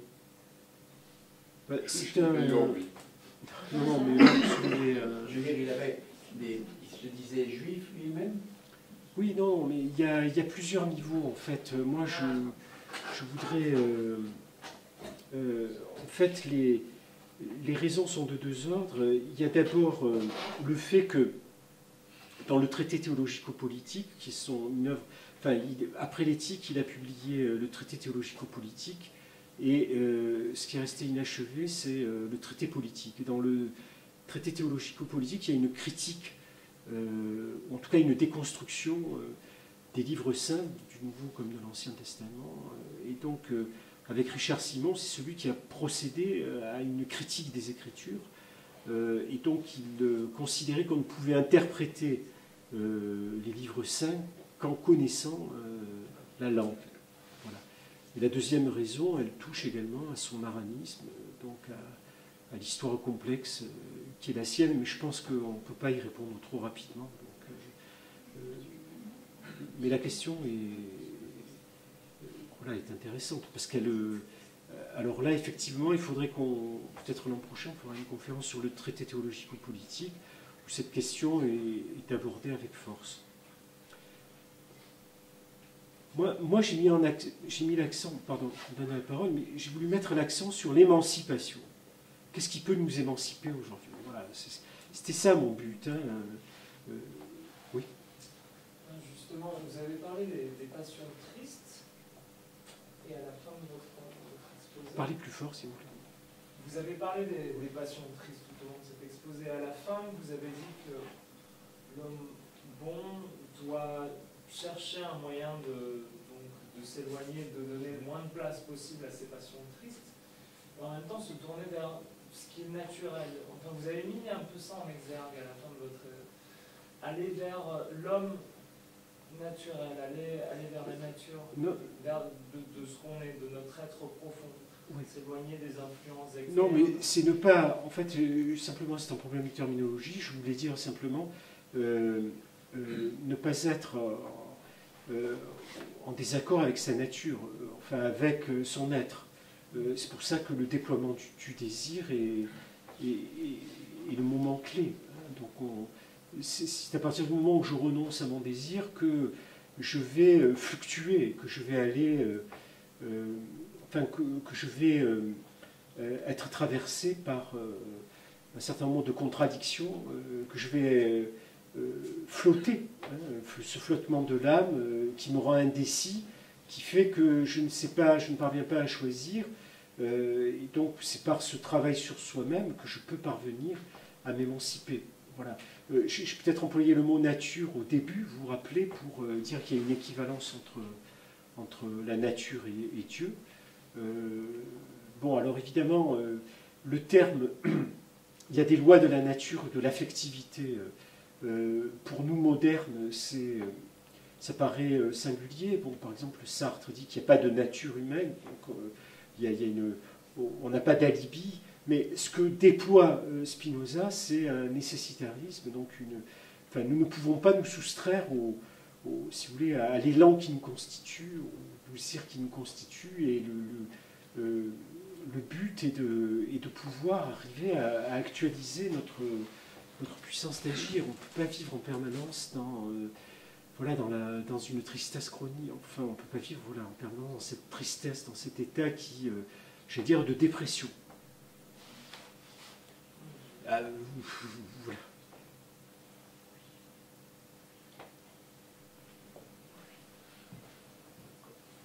C'est génial, ils ont tout compris, c'est fabuleux.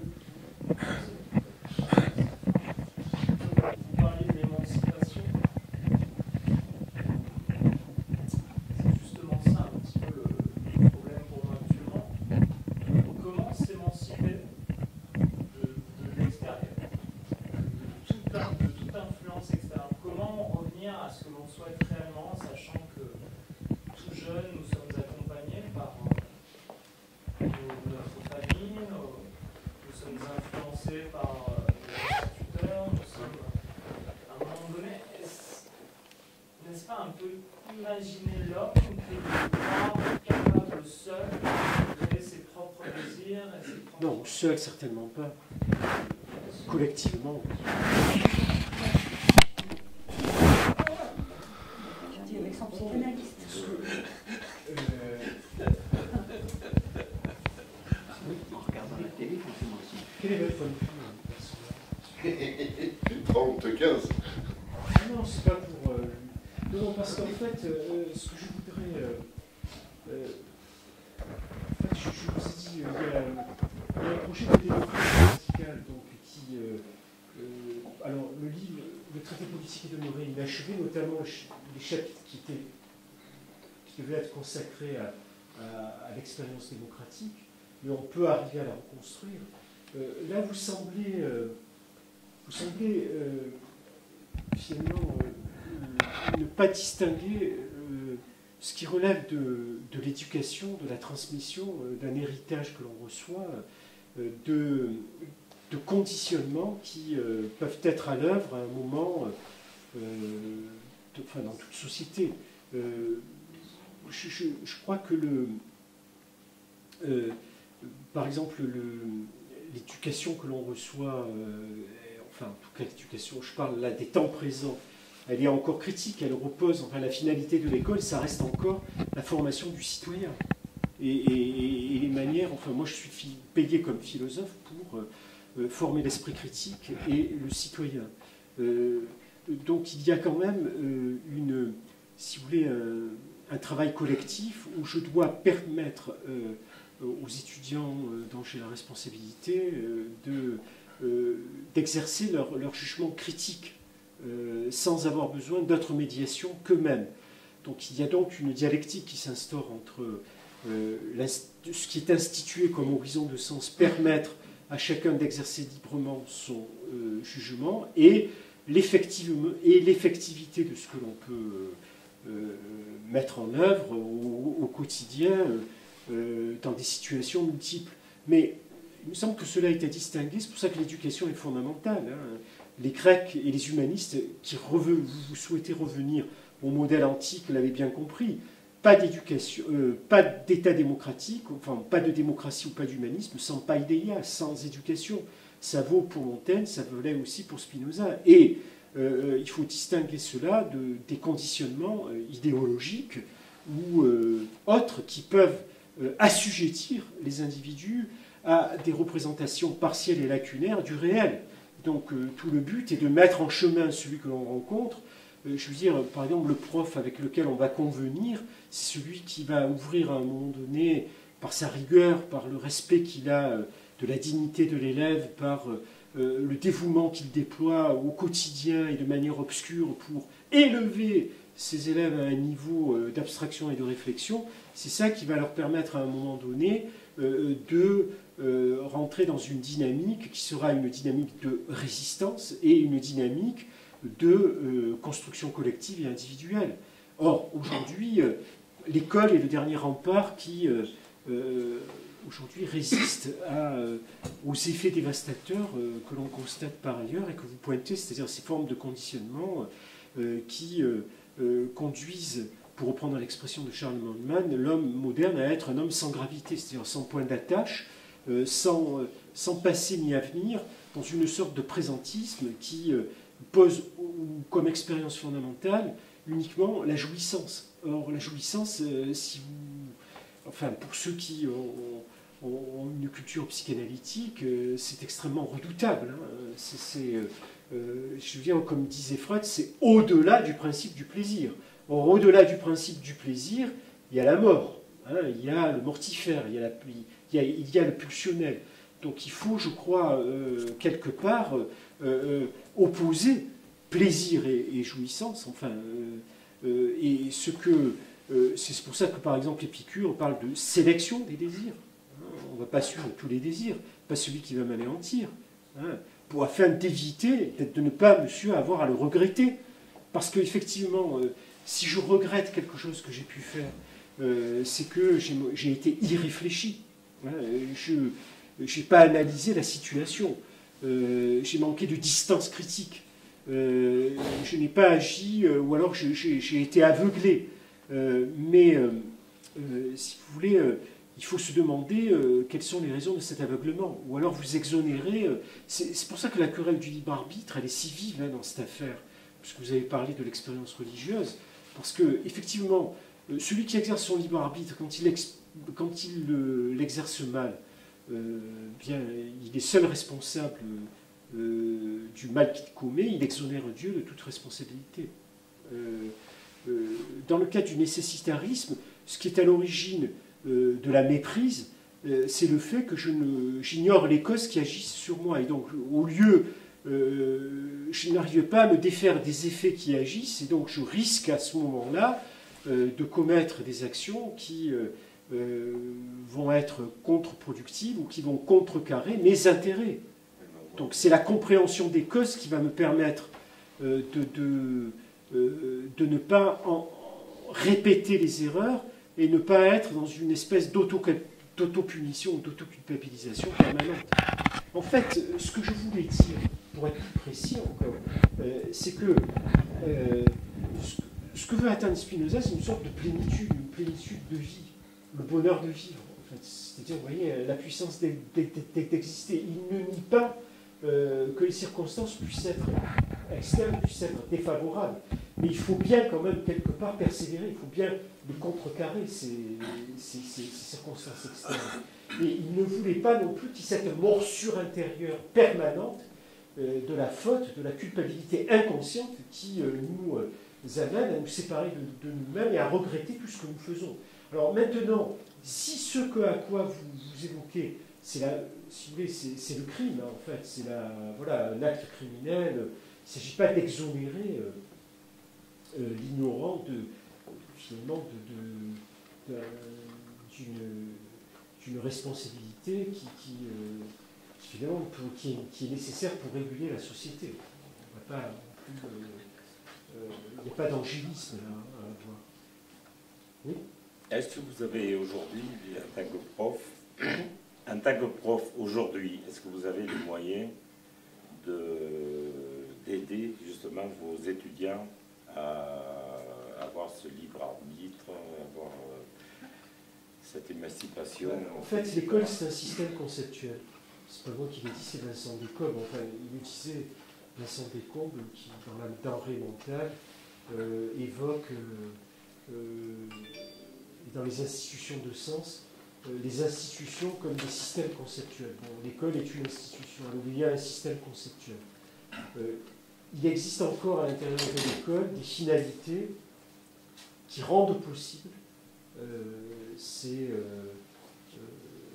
moments qui peuvent être des moments de bonheur, voilà, de prise de conscience, de transformation qui rendent le travail que l'on effectue utile.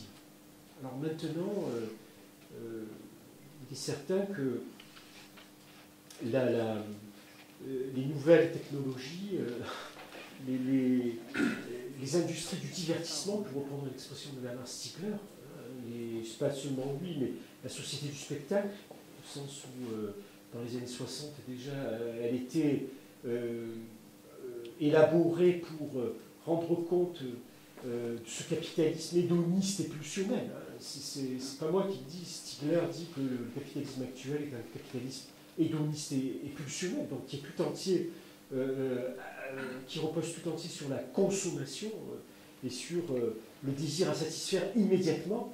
Donc il est clair que euh, la mise à distance que suppose le travail philosophique est difficile euh, quelquefois euh, parce qu'on veut des réponses toutes prêtes. On veut du prêt à penser. Voilà. Donc qu'est-ce qu'il faut penser de cette... quel est votre avis euh, Donc je ne bottez pas en touche, et simplement, euh, je crois que le travail euh, intérieur, réflexif, on doit l'effectuer nous-mêmes. Ça prend du temps, ça demande des, efforts, et ça demande aussi des lectures patientes. Voilà, donc je reste encore au sens où Gramsci parle de, de l'optimisme de la volonté optimiste, mais c'est vrai qu'il y a des raisons de s'inquiéter. Voilà. J'allais dire, vous êtes optimiste néanmoins. Enfin, moi, je, suis- je suis- je suis d'accord, hein, mais vous ne pensez pas qu'il y a quelque chose de constructif dans le négativisme. Vous ne pensez pas que quand je fais quelque chose qu'il ne faut pas, euh, non, dans le négativisme, d'y aller, les passions tristes, vous ne pensez pas que ça peut être aussi constructif de se laisser aller vers le négativisme et d'aller vers les passions tristes? Vous ne pensez pas que quand justement je fais quelque chose qu'il ne faut pas, c'est peut-être un des rares moments où je suis sûr de ne pas être sous l'influence de quelqu'un d'autre. C'est peut-être un des rares moments où je fais... euh, non, je sais pas. hein, je... Non, non, mais C'est une idée. Et, euh, et me laisser aller de temps en temps aux passions tristes me permet d'avoir des passions joyeuses bien plus vives. Et enfin, je sais pas, hein, je... Sans négatif, pas de positif. Si je ne suis pas triste, je ne suis pas. Enfin, je veux pas, je veux pas, mais je, je comprends. Moi, je suis dans. Déjà, merci. Déjà, merci. J'ai trouvé ça très intéressant. Je pense que ça pourrait intéresser euh, une énorme partie de la population en ce moment. Euh, je sais pas, mais les gens sont de plus en plus dépressifs. On va à la baisse. Euh, je fais partie de ceux. Enfin, la joie est un combat. Je, on vient d'une famille où, où c'était imposé, où c'était imposé. On se devait de sourire, on se devait d'être léger. L'humour était, enfin, etc. Mais de temps en temps, je pense quand même qu'il faut. On peut pas, on peut pas s'interdire les passions tristes. C'est mon avis. Je pense que de temps en temps, je- la mélancolie, elle le peut être magnifique. Vous le consulterez, euh, vous verrez que c'est pas tout à fait ce que j'ai dit. Non, Quant à la question non. du christianisme, j'avais entendu christianisme. Non, Il y a pas eu du tout. de travaux euh, euh, sur le christianisme, en tout cas, voilà, de- à la fois dans le courant marxiste, sur le, par exemple Badiou, Saint-Paul, bon, parce que, le, voyez, donc il y, a, il y a tout un débat autour de, de ce supposé christianisme de, de- de Spinoza. Bon, j'y reviendrai, c'est le rapport à l'universel, euh, à travers bon, le rapport entre le tout, le tout c'est le chacun, donc la question du particulier, doit-il être absorbé dans l'universel Euh, Voilà, donc je, je- je ne voudrais pas que vous restiez avec l'idée euh, Ah, quelqu'un de sectaire en fait. Non, non, non, non, très non, non, ouvert. non, Et parce il faudrait qu'on ait un atelier, vous voyez, ce qui serait intéressant, c'est qu'on mette en place un atelier vous voulez dire ce que euh, j'ai pour dit pouvoir travailler sur des textes, pour que vous puissiez les préparer avant. Et, euh, mais je trouve vos remarques pertinentes. Je vous remercie moi-même d'avoir pris votre temps et je vous dis à la semaine prochaine. Pour ceux qui se lèvent tôt, demain matin à partir de 8h45, vous pourrez m'entendre sur Radio Galette 88.4 où j'interviens sur euh, les universités populaires du 21e siècle et pourquoi. Et je serai accompagné de Stéphane Rio. Et sinon, grand merci à, Merci. à Augustin, merci à vous. Et puis on Merci. se retrouve au plus tard mardi prochain.